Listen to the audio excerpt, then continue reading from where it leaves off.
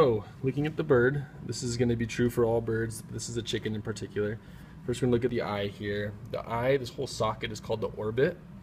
Specifically, this little ring is called the sclerotic bone or the sclerotic ring. Okay. Next, we are going to look at the furcula. The furcula is the wishbone, which is right here, the furcula. And the furcula is going to articulate with the procoracoid, which is this bone right here. Okay, procoracoid. Going caudal to the procoracoid, laying alongside the ribs here, it's best from this angle, is the scapula. This is the scapula right here. Okay. After that, we're going to have the keel of the sternum into the front. This is where the breast muscles are going to attach. Charles. Next, we will look more at the caudal in, We have the femur here. Okay. The end of the femur, we're going to have the patella, just like we've seen in other skeletons. Next, moving down, we're to have the fibula, and you can see the fibula gets increasingly small and ends up fusing with this bone, which is the tibiotarsus. Sometimes they refer to just this bottom part of the tibiotarsus and this top part of the tibia. However, you can call the whole thing the tibiotarsus. Okay. Leading down, we're going to have the tarsometatarsus right here. Okay. The metatarsals are all kind of glued together on this one, but it's all of these in between here, in between the metatarsal metatarsus and the phalanges.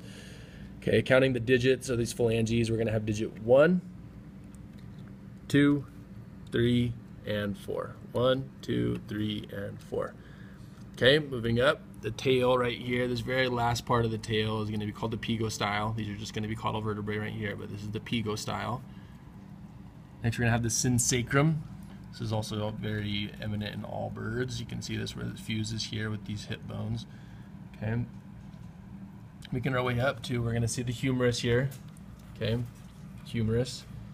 All right, and our humerus is going to articulate, articulate with the radius, the ulna, just cranial to the radius. We're going to have what's called the radiale. It's a little bone right here. Radiale. And then underneath here, for the ulna, we're going to have the ulnare, which is this bone right there. Next, we're going to look at the digits. This whole region here uh, are called the carpometacarpus, this region right here. So first, we're going to be looking at digit 1 with phalanges 1 and 2. Digit 1, phalanges 1 and 2.